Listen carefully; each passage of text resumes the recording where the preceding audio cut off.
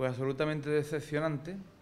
porque inciden en más de lo mismo, en que los ayuntamientos tienen que actuar y que tienen que actuar incluso en aquellos eh, espacios que no sean titularidad municipal, como son los espacios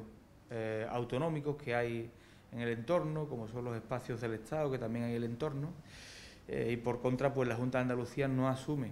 sus competencias y no asume la necesidad de ejecutar un plan especial, en este caso y extraordinario, que permita acabar con el mayor número de, mosquitos, especialmente de una especie,